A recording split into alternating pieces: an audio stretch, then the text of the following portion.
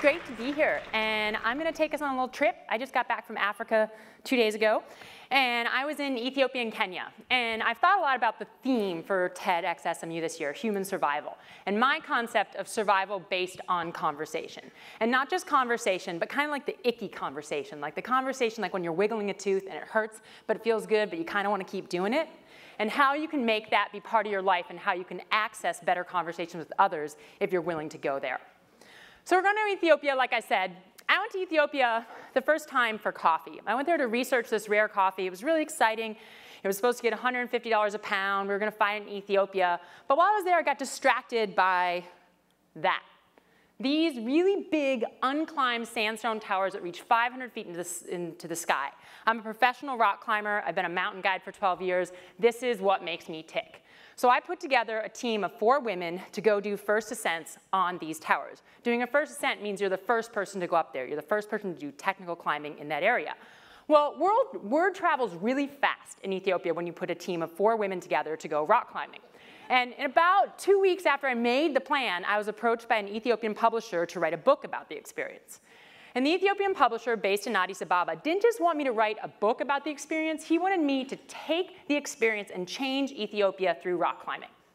No small task. He's like, yeah, that's cool. Like, why don't you just go to Ethiopia, go climbing, and make it really cool, write a book, and let rock climbing change Ethiopia forever. And I said, yeah, that sounds great. I got, you know, three other women who are pretty strong, so we can probably make anything happen. So we went after it. Um, we headed into a country where the majority of people make less than a dollar a day with $15,000 worth of climbing gear. We went to the Geralta Mountains. The Geralta Mountains are a series of sandstone upthrusts, in northern Ethiopia. They're famous for the rock-hewn churches. So there are churches that are perched high up here that people access through chasms, through volcanic rift cuts. They do a little bit of climbing to get there, but when we arrived, no one had actually climbed the main faces of these escarpments. That's really exciting when you're a climber, because people always want to be first. For some reason, we think that makes us better. I'm, I'll debate with you about that later. Now, while we were in Geralta, this place that we were going climbing, this place was famous a long time ago. It was famous in, that, maybe not that long ago, in 1984 as the seat of the famine in Ethiopia.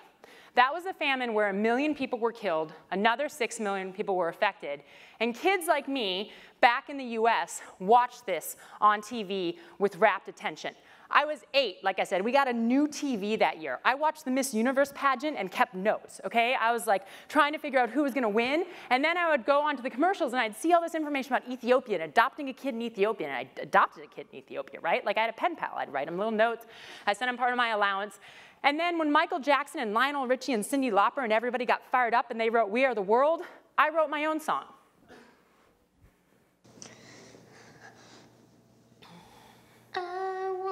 To help a kid in Ethiopia. I had to tell the kids yesterday it's okay to laugh. Like, this is fine, you know? Nobody else can help this one. And I did have this haircut and these glasses when I sang this. Needs somebody to care for them. But some people don't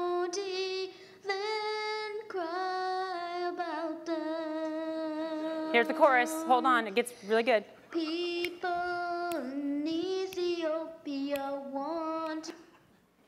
Okay, so it keeps going on. And I'll tell you that not only does it get better, it starts talking about turkeys. Because I was really worried about the people in Ethiopia because I was like, you know, you have Christmas and you don't have a turkey.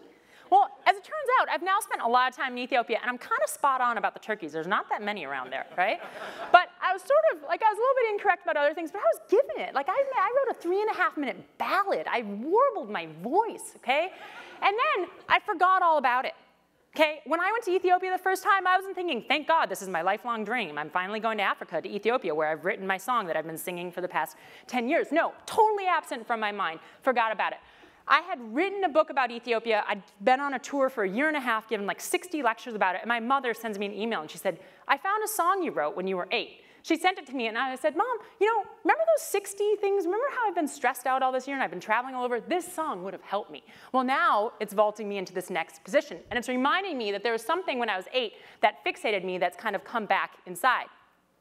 So after I was eight, 20, whatever that is, 23 years after that is when I was climbing in Ethiopia, and I was going to write this book to save Ethiopia. Well, the climbing, like when you actually climb, what you want to do is you want to put your hands and your feet in a crack. You want that crack to be solid, okay? So this is sort of a picture of it down here. And then you go upward and you twist and you torque your feet and you reach again. And you put in pieces of protection. Here's a couple pictures of what those look like. And those are your safety. And you climb up. You do not climb using the rope. You climb using your body and the rock that's there. This is the way it worked in Ethiopia for about 80 feet, okay? And after that point, with about 800 feet to go, everything went to hell in a handbasket. The reason is because the rock quality sucked. Okay? There's really no better way to put that. And all this idea that we were gonna go and climb this sandstone, well, sandstone's soft, right? Like sandstone, sand, sand, stone. Which, which word comes first? Sand. Sand is granular. It comes apart. It comes off in your hands. There are some places where there's amazing sandstone that's been sort of fortified and calcified, and it's wonderful. But that's not Ethiopia. And suddenly we're there and we're climbing, and I'm thinking, oh, this is why people haven't climbed here. Because it's actually really bad. But now I'm climbing here. So this picture right here, most of the pictures in this are really good because they're professional photographers, and this picture is bad because this was taken by my partner when she was scared and I was scared. I'm holding the rope. Remember how I said you don't hold the rope when you climb? I'm holding the rope right there and I'm looking up and I'm having this debate in my head that says, how much is this worth it? Do I want to die in Ethiopia? It is four hours to the closest hospital, bring your own blood for transfusion. We had a bunch of needles in case we needed to have an accident, but I didn't even want to go to that hospital, okay? I didn't want to get stung by a scorpion. I didn't want to find a snake. I didn't want to take a big fall, and I'm climbing friable rock. Now, let's you know, go ahead and talk a little more. In addition to writing songs when I was little, I was also sort of obsessed with adventure. And this is a photo of me after my senior year in high school. I was in the Arctic. I was on the Anderson River to the Arctic Ocean on a 45-day expedition with five other women. I climb with men too, but for some reason both of these trips have to do with women. And I'm on this trip, and when I was a kid, like adventure was worth it if it was difficult and if it was remote. And if you didn't have those two things, then you're kind of a, a wuss, okay? Like it wasn't worth it. Like if you, this trip was really cool because for 45 days we were self-supported and we weren't gonna see another human, right? Because we were in the wilderness, and wilderness meant total preservation. Well, lo and behold, we're like 39 days into this trip, and who do we see but this local Inuit family?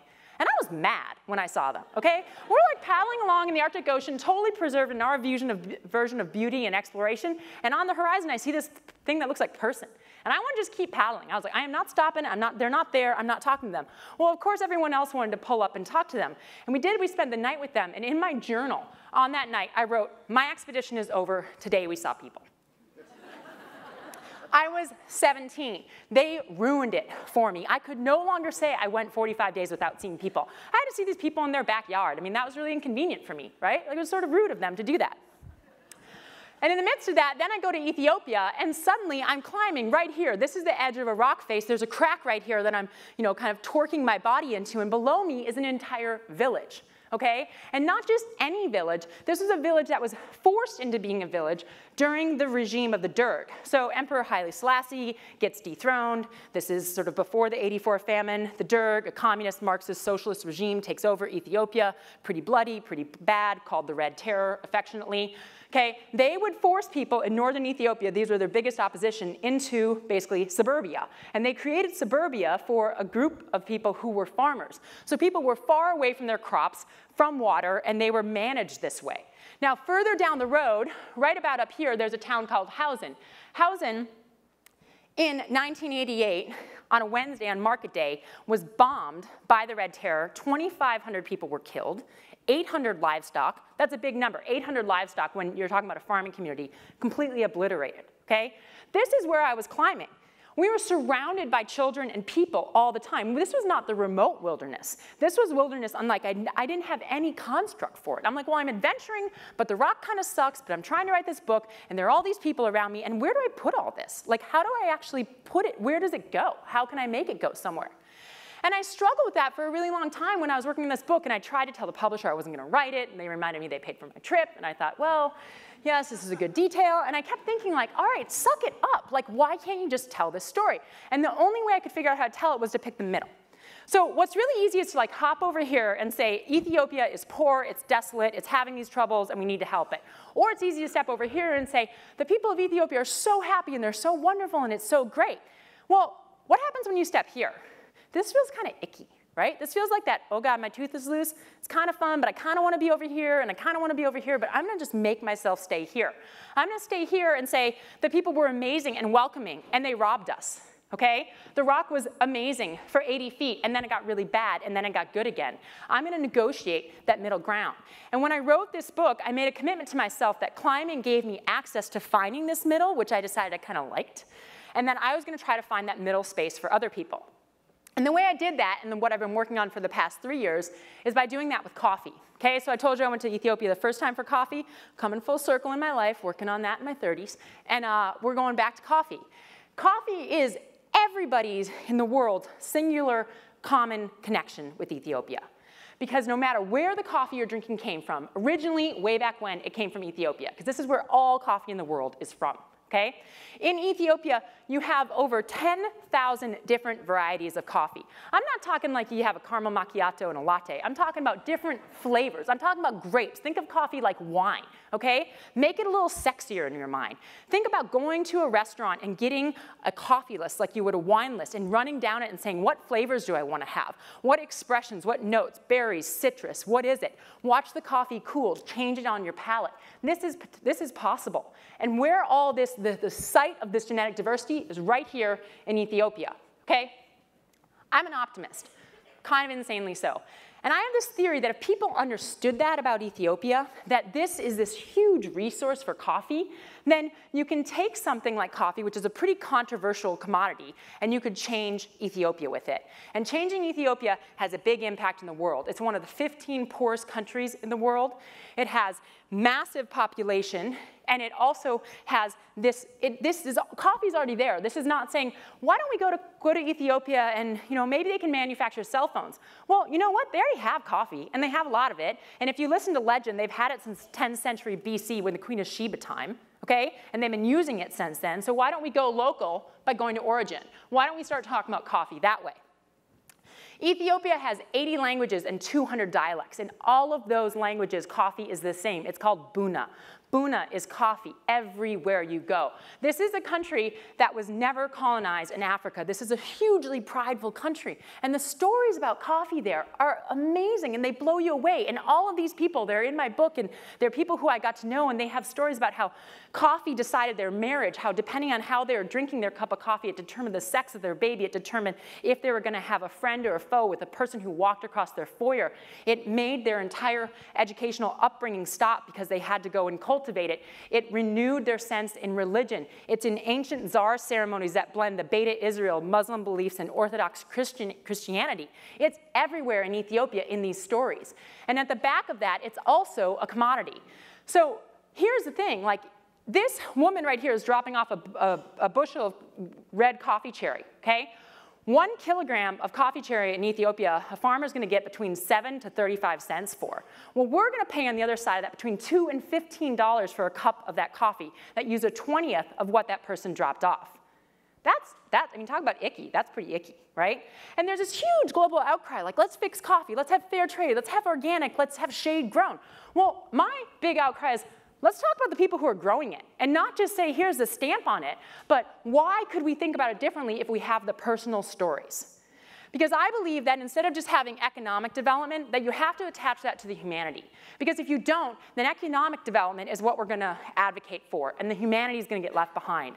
And people are gonna move through their lives and they're gonna jump too fast okay? You've had that. You go into other countries and all of a sudden you went from being ideal, idyllic and bucolic to having plastic everywhere okay? What happened in between? It's a cultural identity. If you can tie that with economic development, if that becomes central to it, then maybe we have a different paradigm to move forward with it.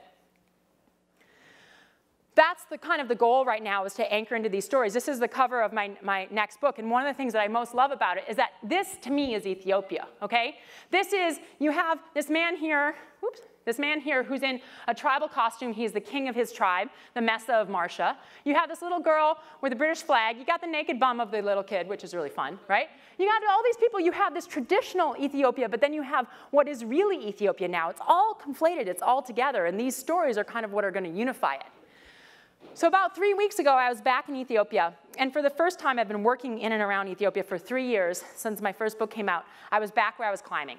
And there's this really well-loved copy of my book that's at this lodge, this Italian lodge that they just built there. And I sat down with a lodge manager and we thumbed through it. And he was thanking me for bringing climbing to Ethiopia. And he said to me, for, he's, I sat down and he said, your book changed this region. And I looked at him and I said, no, I don't, you know, I think that this, I was just really lucky. And he said, no, no. He said, I want to hear more stories about climbing. Is that what you're here and doing? And I made him a deal. I said, I'll tell you stories about climbing if you tell me stories about coffee. And we sat down, we had, we drank coffee for three hours, and he shared stories which are gonna now delay the publication of my book so that I can put them in there. I had a friend come up to me, I think about three weeks ago, and he sat me down and he was really worried about the work I'm doing. And he said, you know, I'm really worried that you're putting yourself out there too much. The fact that you think that you can change Ethiopia through coffee and through stories about coffee is really disturbing. And I looked at him and I smiled and I thanked him for the compliment. Thanks.